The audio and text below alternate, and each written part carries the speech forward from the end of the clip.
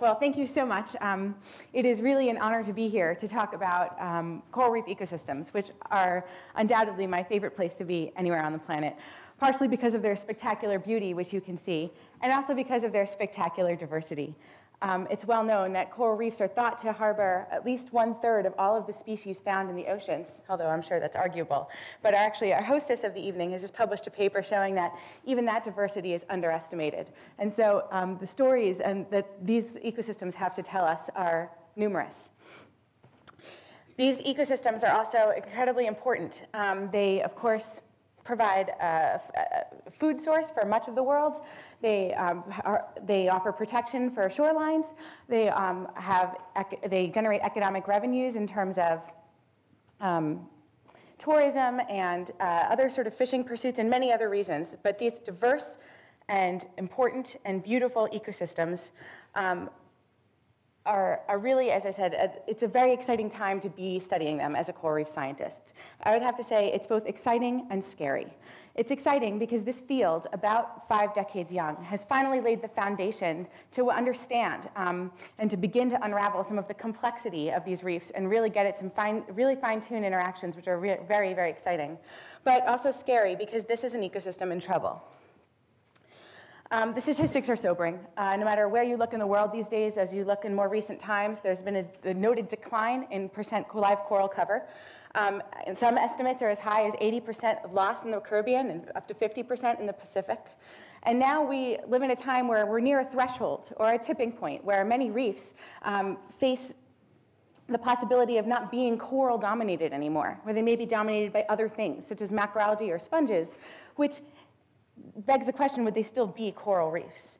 And so what, what is a coral reef um, if it doesn't have coral? Corals are animals that build hard calcareous skeletons um, that are basically the, build these underwater cities that are, is what hosts, this is what hosts the diversity of so many other organisms that live here. Um, and uh, these living cities are Uh, full of all of this topographic complexity. You can think of these as apartment buildings with lots of, lots of animals living in the nooks and crannies. And if you lose this complexity, you will lose a lot of the diversity that we have on coral reefs. But before you write this off as just another talk that's depressing about the demise of coral reefs, let me tell you three happy things. First, I'm honored and proud to say that many of the photographs in this talk are mine, unless otherwise noted, and they were all taken within the past year or so. Proof that I offer to you that with my own eyes, I have seen beautiful, thriving, gorgeous reefs teeming with life very, very recently, which I view as beacons of, of, of hope for what, they, what reefs may become and return to. Second, I'm going to end this talk with a project um, that Nancy mentioned about the Phoenix Islands, which I believe is one of the most exciting projects in the oceans today. And before we get there, I'm going to talk to you about five cutting edge topics nice format, and uh, critical questions in coral reef science that I think um, deserve some attention. And I think all five of these topics really have a lot to tell us about how coral reefs live rather than just how they die. So to kick that off, uh, let's start with the most fundamental and most important topic um, on reefs. As, just as reefs don't exist without corals, corals don't exist without their photosynthetic algal symbionts. These symbionts are what um, help corals to derive most of their energy. Um, they are they're small, they're about 10 microns, they're in the genus Symbiodinium, and we've known about them for quite some time, but um, the field of symbiosis has been struggling to sort of put together a taxonomic and systematic framework to understand uh, this critical symbiosis. But it is important um, and very clear to see. Here are two colonies of coral, they're the same species, they live side by side in the reef, they're slightly different colors, uh, the color difference that you see actually is because these two harbor two different types of symbionts. And um, this is actually very important. It may seem like a subtle point, but if they have two different types of symbionts, and when you hear about coral bleaching, it's, they're talking about the decoupling of, these, of the symbiosis. If, it, if corals are going to bleach, are they both going to bleach at the same rate? Are they going to bleach at the same time? Are the corals going to behave the same way? Is the symbiosis going to break down at the same level? Where you draw those lines also depends on how you characterize these symbionts, how you name them, how you organize them, how related they are to each other. And until now, I would argue that the field has been um, sort of working towards putting together this framework. A paper that just came out about three weeks ago offers some promising tools into, that may yield some insights into the systematics and taxonomy of this important symbiosis, which is fundamental for the life of coral reefs. Speaking of symbionts, it doesn't just, um, coral reefs have many, many symbionts, not just uh, Symbiodinium, and we have an increasing awareness of some of the prokaryotes, or the bacteria that live on coral reefs, which have benef are beneficial, not just coral diseases. And um, in order to figure out not only who these bacteria are, but what they do, coral reef science is beginning to invoke the use of tools which you know, we uh, casually refer to as omics. And by omics, I mean um, proteomics, metabolomics, genomics, for example. Um, and these sorts of tools are exciting not just in understanding the prokaryotic communities, the bacterial communities, but they're also being applied to a suite of organisms all throughout reefs and being used as reef diagnostics. The idea being that these omics tools may be able to um, sort of be indicators of reef health, tell us what is happening um, at a genetic level before we see massive stress phenotypes or before we see mortality. So if these can serve as early indicators, that would be a very useful tool and it would be very helpful in, in coral reef science in understanding how even the same coral species um, are responding to stress differently from place one and place two, or in time one to time two. So what kind of stressors are we talking about? These days, one of the major and most cutting edge um, stressors that uh, is sort of uh, attracting attention of the coral reef community is ocean acidification. As increased atmospheric carbon is absorbed by the oceans, um, the ocean pH is decreasing, which acidifies the seawater. Since corals are calcifying organisms, um, this obviously has a major impact on them. Um, in fact, um, this is known as the other CO2 problem. And as you can see right here, um, it looks like most corals are subject to the effects of ocean acidification in some way, shape, or form. Unfortunately, uh, the first CO2 problem is still a problem. It looks like uh, warming and acidification work synergistically. But a review recently came out and that asked the, actually in science, that asked, um, you know, is ocean acidification the end of the story for coral reefs? And what they showed is that basically um, it looks like these uh, these global influences of both warming and acidification are more secondary agents of mortality. The primary agents of mortality are more local impacts, things like pollution or disease or sedimentation. And while we can't ignore these global things, and they certainly don't bode well for food chains and lots of other parts of the ocean, um, the fact that, there that local stressors are more immediately uh, threatening it means that we, they're easier to tackle. It's more easy to, it's more simple um, to tackle a local problem than it is a global one. And so by tackling some of these local issues, we may be able to buy ourselves the time that we need to think about these more global issues. So how do we do that? How do we buy ourselves that time? The fourth topic I'd like to bring up is that of marine protected areas, which is really an, a topic that lies at the intersection between research and conservation. Marine protected areas are a tool probably the best that we have out there for trying to um, sort of stop everything that's happening at a local level in order to um, preserve ecosystems in general and reefs in particular. There have been several studies out there that have shown that a well-enforced, well-patrolled marine protected area um, is a highly effective tool, not just for the protected area itself, but for the boundaries surrounding it. There have also been um, studies that have said marine protected areas are really falling short of what we had hoped that they would be. Controversial though, the marine protected area debate may be, let me say that the enforcement and the time scales and the spatial scales at which you look at marine protected areas is going to be the key to understanding whether or not they can work. And it is the single best tool that we have for looking at a number of problems in aggregate. So how do you draw the lines? How do we make marine protected areas? The fifth area I'd like to bring up is one of connectivity. Um, if you think of reefs not as a single unit, but as a network of, of spaces, then you realize that um, we need to think about how to, how connected they are. If you have a single reef that falters, can it, be replenished from a neighboring reef?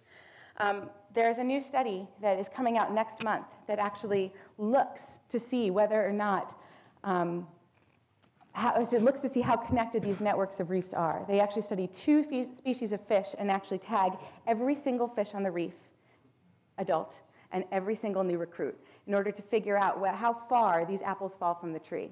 And if they don't fall too far, then they really can't be used to reseed the next orchard over. And maybe they can. So these kinds of, questions of connectivity are critical and cutting edge, and um, although we can tag some fish in the ocean, many sharks, for example, as you've just heard, um, tagging anything with a larval phase is um, arguably more difficult. And so these sorts of tools and studies are really, I think, the cutting edge of where we are in understanding um, where these lines can be drawn and how connected these areas are, not just for fish, but for invertebrates and every species on the reef.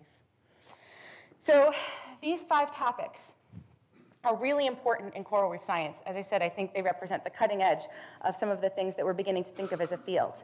The problem is, is that we're studying them in systems that are already so degraded that any answer we come up with is hard to put into a real context. And so we have to go to places that are pretty far away in order to look at systems which are as intact as possible.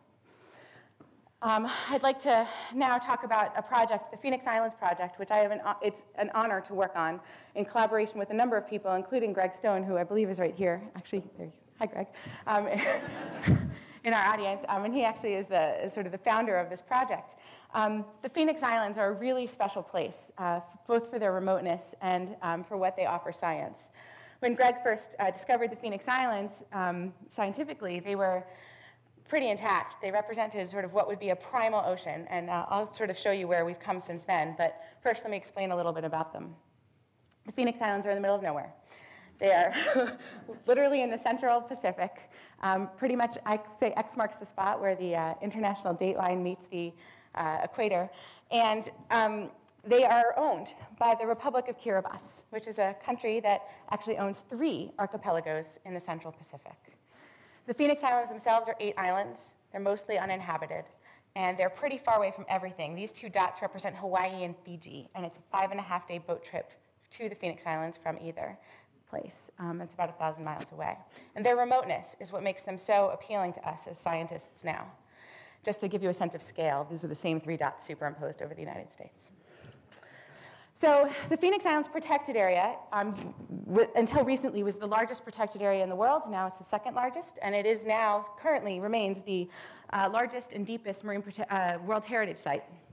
And it is represented by this um, box right here in the Central Pacific.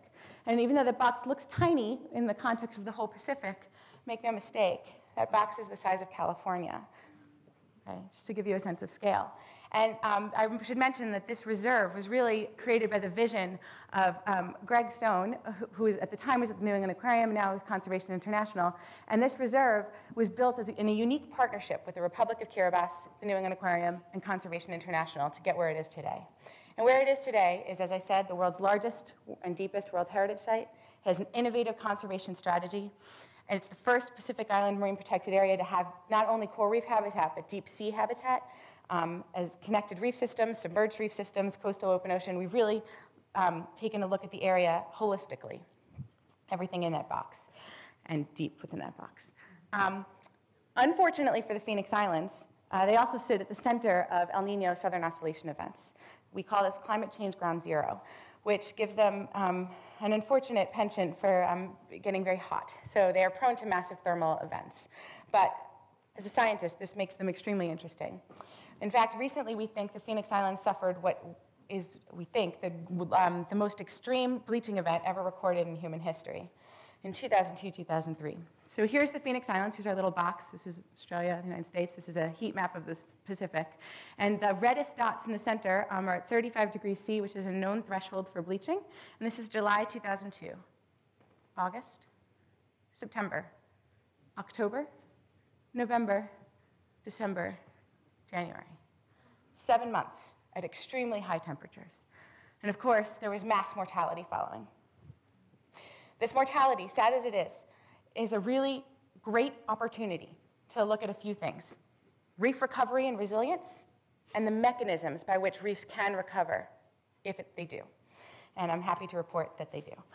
So um, there are very few places in the world that you can look and see recovery and resilience when it's just a single isolated factor. Most of the time, it's reefs bleach, and they're also suffering from pollution and from disease and from overfishing. You know, name your stressors. So this was just bleaching, and of course, live coral cover declined um, following this massive thermal event. But in 2009, when we went back, they were almost 50% recovered to where they were prior to the bleaching event. This is remarkably fast for a, coral, a slow-growing coral reef ecosystem. And it has a lot to tell us. So the reefs went from being completely dead to literally rising from the ashes, like the phoenixes that they are. And so, what are the mechanisms by which this may occur? Um, we have a couple of guesses. Um, first, there are baby corals everywhere. Are they cute? Here they are, lots of little baby corals. Um, and uh, so there's a lot of recruitment on this reef. So even though a lot of things die, there's a lot of new life springing up. Second, they're nestled in this blanket of pink, which is crustose coralline algae. Think of it as reef cement, and baby corals need it. They love to grow on it. And um, the Phoenix Islands was covered in a vast array of pink, which doesn't happen everywhere. Now, the Phoenix Islands, the reason we think it happened is because the fish community didn't immediately disappear when the corals did. The structure of the corals remained. No major hurricane knocked them over. They, they, they were ghost towns, standing intact. And even in 2009, after all of this death and destruction, the Phoenix Islands, here we go, here's this comparative fish biomass across a number of reef systems, rank second, only, second only to the Line Islands. Fiji, for example, mecca for diving and ocean havens, you know, way down on the list. So uh, the Phoenix Islands having this intact fish population, including herbivores, these fishes were able to keep the reef clean, eat the same things that they've always been eating, which created an opportunity for reefs to come back and resettle. Uh, I'll just say a couple of other quick things mechanistically. The, these are all pictures from 2009. The corals that resettled the area were fast growing and they created, they were placeholders. And um, amidst these fast-growing corals, which were able to completely preserve the space available for corals, we were able to see slow-growing recruits, which means eventually we should see successional dynamics and a return to the community that we um, saw before bleaching. And of particular interest to me, I study fish-coral interactions. These are pictures of corals that have been bitten by fishes, lots of fish bites. Um, uh, you know, I look at this interaction all over the world, and uh, we found six new interactions in the Phoenix Islands. Not because they don't happen in other places, but in the Phoenix Islands, the fish still exist and the coral still exist. So just by looking at a place where the system is still relatively intact, we can make new, new discoveries, which are likely indicative of things that are happening everywhere. So to conclude, I just want to say that the Phoenix Islands are an opportunity to look not only at these types of dynamics, not only in the coral reef systems, but again in the deep sea, the open ocean, and in the terrestrial um, aspects of these islands. In the absence of local human stressors, they give us the opportunity to isolate global versus local effects. And in context of the whole Central Pacific, the Gilberts, which are highly inhabited, and the lines, which are, have a gradient of human habitation, um, and the Phoenix Islands are the ones that really sit at the center of these ENSO events, these El Nino events, um, we can uh, decouple the influence of global versus human impacts. Important for those five topics that I brought up earlier, where we can finally look at these in an ecosystem that isn't already completely degraded by so many things happening at once. So the last question I'll ask, the cutting edge question of the night, what is the future of coral reefs? Wow, I wish I could answer that. but what I can say is that um, corals are amazing ecosystems for so many reasons, and without corals, they look completely different and a lot less complex. I can't imagine a world without corals, and I think that all this cutting edge research that is going on in the field um, is hoping is lending some really great insights into hopefully keeping things towards the top of this slide. So thank you very much.